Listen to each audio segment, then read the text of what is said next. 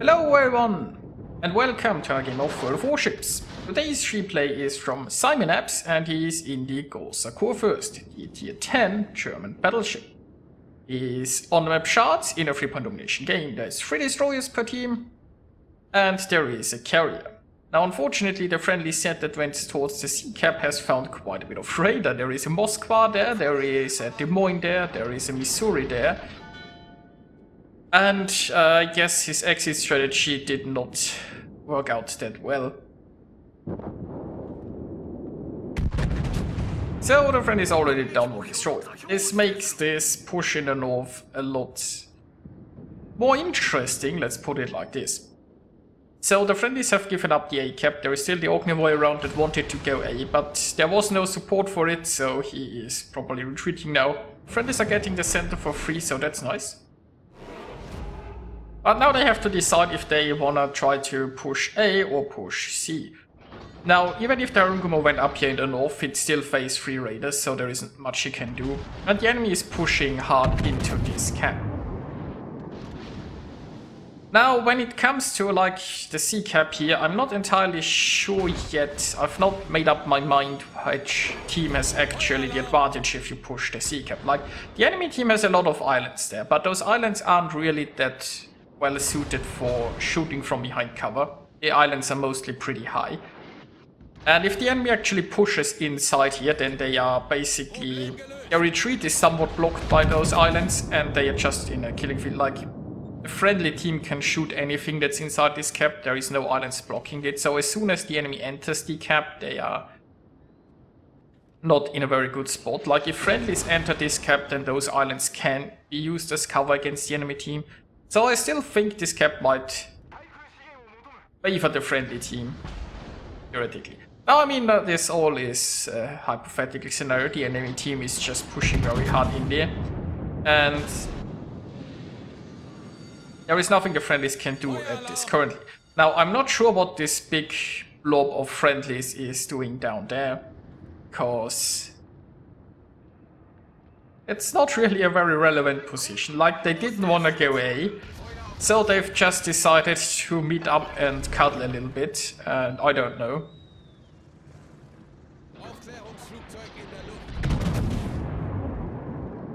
I guess we will find out what they are up to. Now, simonabs is going here into this corner. That's not usually a spot where I'd wanna be, and I always have said if you end up in a corner, then you probably things went horribly wrong. And yes, things are going horribly wrong. Because he can't push this force on his own. His support is, well, not here. And there is just a massive enemy force. So he's using what cover he has and he's trying to go around and hopefully get some broadside shots. That might actually work. Like, if the enemy is all facing towards that incoming force, then he can get around here and hopefully uh, can abuse some broadsides. Now, the only one still defending B is the two destroyers. Now, the destroyers, they are trying to stay away from the radar, I assume, so all they can do is hopefully just stop the incoming force from the south. Not that any ship here is interested in stopping those guys pushing from the south, other than the destroyers. So this is uh, not ideal.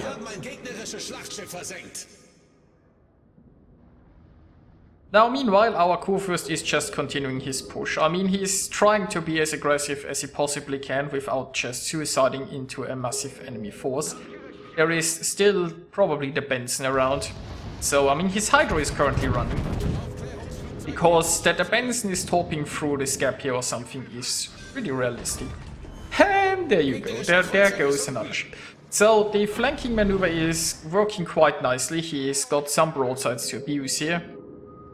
But it's it's a long way from a winning match right now.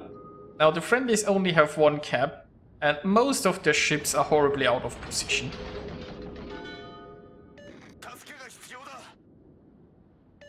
Now unfortunately this Conqueror is not sending a very good firing angle. There is still the Benson around here. And well, I mean, if he continues to push around, he might just... Well, like, Maybe he can get that Missouri on his own there.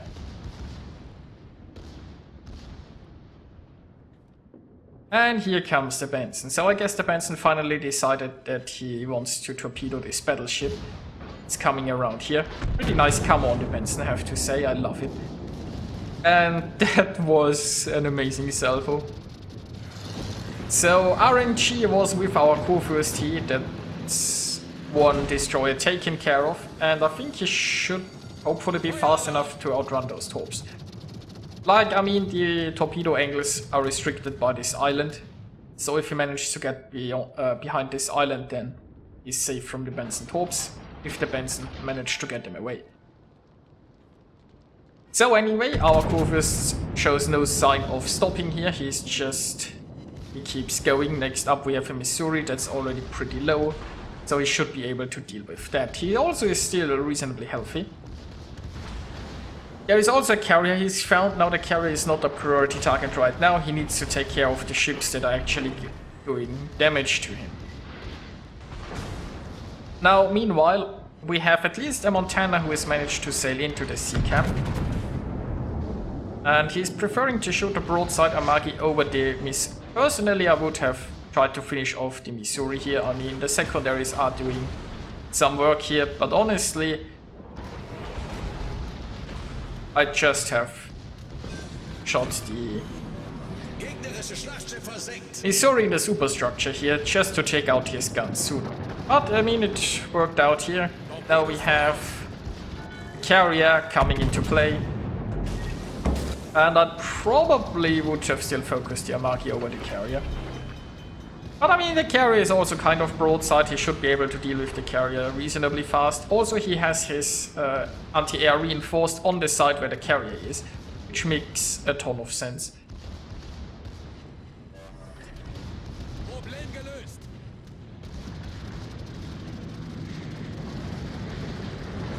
So let's see, what does RNG say? Can he get rid of this carrier right now? I mean, the carrier will Oh, he got one over me. I mean, if he manages to get rid of this carrier right now, then at least he isn't getting arrested anymore. And it looks like Amagi isn't doing an awful lot just yet. So it looks like he's figured he can leave the carrier to his secondaries and he's focusing on the Amagi again that's currently turning to be broadside which is very sporting. And there you go, that's, that's one less carrier. Now, the friendlies have managed to pull the ships towards their advantage, but they still don't have a package. Now we do have a Musashi in this cap here, and we still have some ships that are questionably positioned. So we will see about that. Now hopefully this Amagi is dealt with soon and then our Kurfürst can probably continue towards the B cap and maybe sail in there and take a point. Now there is a destroyer here towards his left inside a smoke screen so he's going with Hydro here because you'll never know what this Daring is up to. And it will certainly help with dodging some torpedoes. And speaking of the Daring, the Daring was just visible there.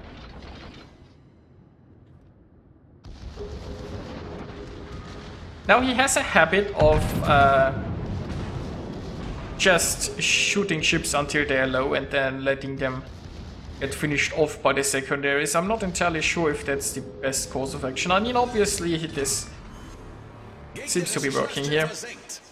But like, you really want to take ships out fast so the guns are out of play and they stop shooting you. On the other hand, I guess he is maximizing his firepower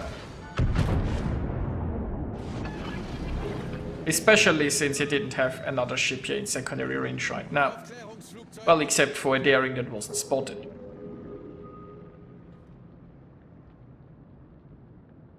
So, I mean, the enemy team still can win this rather easily by playing 4 points, I think. Like, they have to destroy... Well, I guess the friendlies have a carrier left.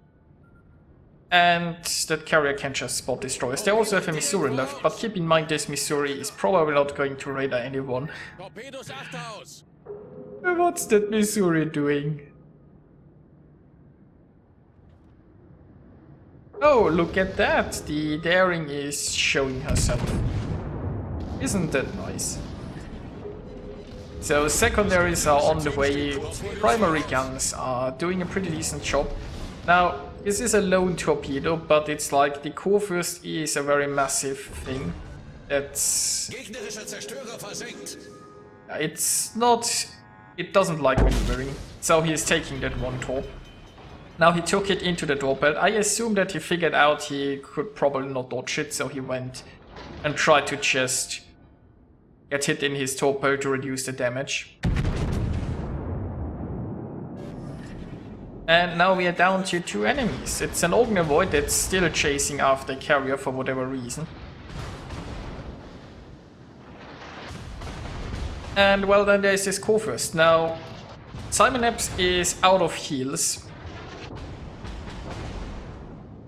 So we will see how this turns out. I mean, he can try to go for a ram here. Especially since the friendlies actually managed to get rid of the destroyers, so this is the last remaining enemy. The enemy team still has a points lead because the friendlies just never managed to take caps, but... Yeah, the enemy team might have a hard time pulling this.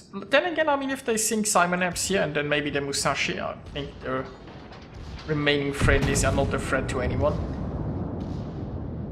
But it looks like that Kurfürst isn't even trying to shoot simonabs, so this will be ending Ram.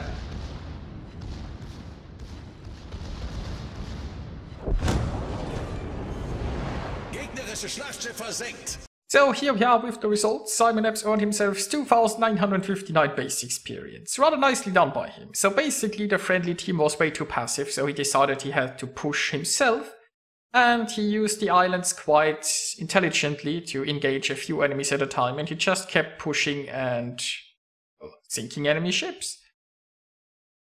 simonabs achieved a Confederate 4 close quarters expert, a Kraken and a high caliber, scoring 367,000 points of damage and sinking 7 enemies. Yeah, he had to carry this team pretty hard, but ultimately he succeeded and that was a very nice battle to watch. So I hope you enjoyed it and I'll see you guys next time.